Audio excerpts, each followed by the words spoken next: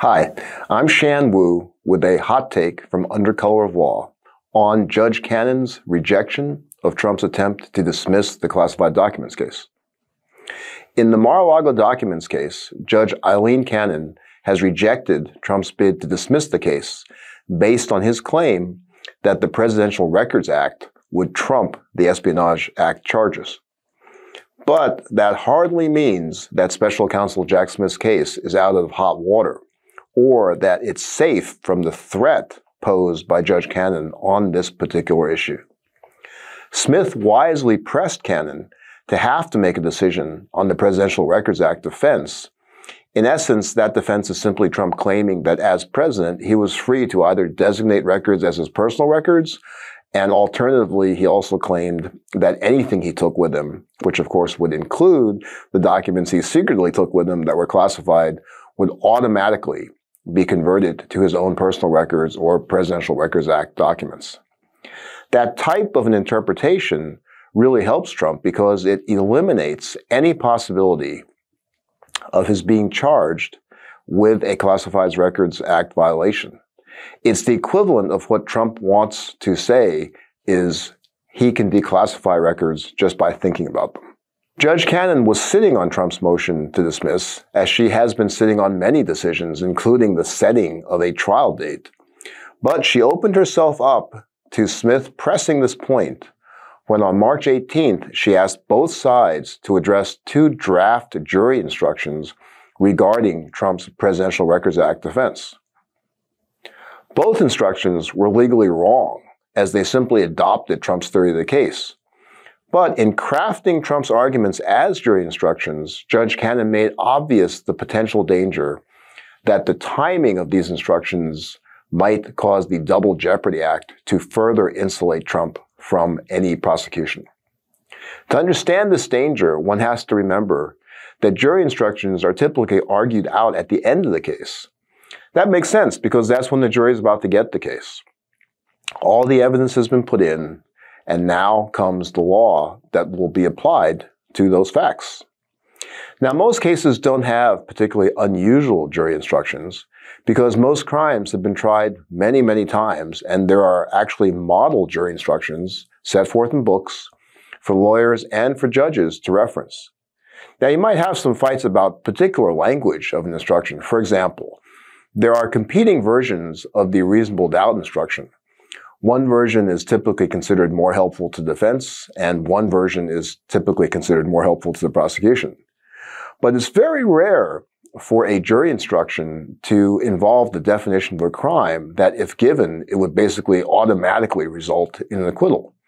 And that's because there's not that much controversy over the definition of the crime. It's the facts that count. Here's an easy way to think about it. Think about a bank robbery case.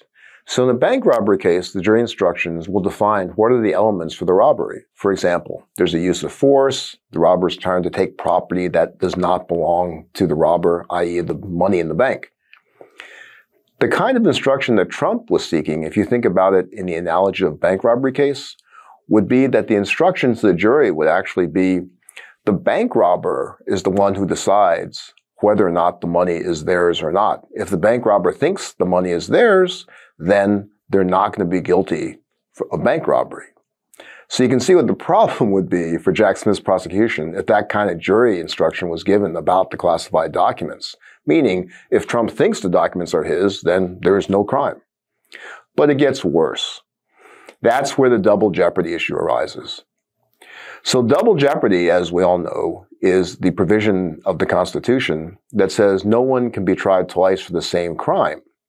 What that really means in criminal cases is that while a defendant can appeal a conviction and ask for a redo to throw out the conviction because there's something wrong with the trial or something was wrong with the law, the same is not true for the prosecution. If there's an acquittal, the prosecution can never appeal and seek to try the person again because that's barred by double jeopardy. And importantly, double jeopardy attaches, meaning it becomes active, once the jury is sworn in. They've been chosen, they're impaneled. That's what we call jeopardy attaching. So, if you have a legally erroneous jury instruction, like the kind Judge Cannon was suggesting she would use, That's a problem which double jeopardy will insulate the defendant from, meaning you give this very wrong, prejudicial jury instruction, which makes sure that the defendant is acquitted. Prosecution can't do anything about that. It's too late at that point. Now, Smith warned Judge Cannon that it was really important for her to decide this issue before jeopardy attached. In fact, they made it explicit that they needed time to appeal her decision on this and even threatened to take the extraordinary measure of seeking a writ of mandamus to force her to correct the error. That's a very unusual threat because mandamus is by itself, quote unquote, an extraordinary writ. It's really the equivalent of asking a higher court to tell the lower court to do your job and to do it right. Now, this threat does seem to have galvanized Judge Cannon into actually ruling on Trump's request to dismiss the whole case based on the Presidential Records Act defense, a motion she'd been sitting on and not deciding, much as she hasn't decided yet when the trial date would be. But her very short opinion was sort of disingenuously worded.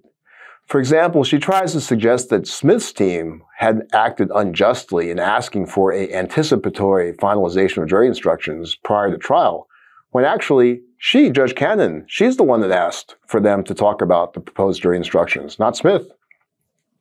And she said that her request to them shouldn't be misconstrued as having made some decision on any defense or other elements of the law in the case. And she'd simply been asking with good intentions to understand the parties' competing positions. So here's the danger. She has said the case can't be dismissed, meaning the charges can't be dismissed on this Presidential Act records uh, defense that Trump wants to use.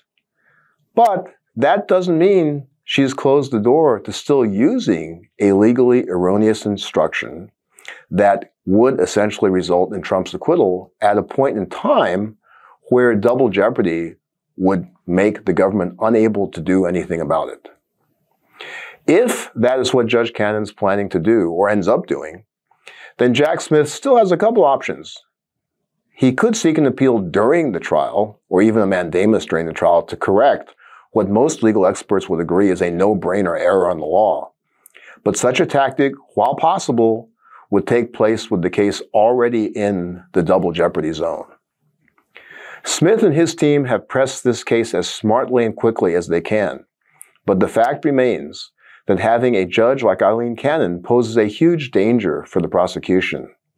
Holding aside the question of where she's biased, her indecisiveness in making decisions, including the bizarre decision she reached earlier in trying to assign a special master to the case, they could just reflect her inexperience, putting her into legal waters well over her head in a case of this historical importance.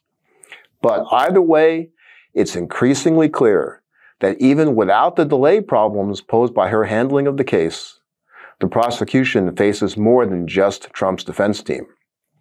Jack Smith is also having to battle Judge Aileen Cannon every step of the way. I'm Shan Wu. This is a hot take from Under Color of Law, and we look forward to hearing your comments and let me know if there's other stuff you want me to talk about. Thanks. Love this video? Make sure you stay up to date on the latest breaking news and all things Meidas by signing up to the MeidasTouch newsletter at MeidasTouch.com slash newsletter.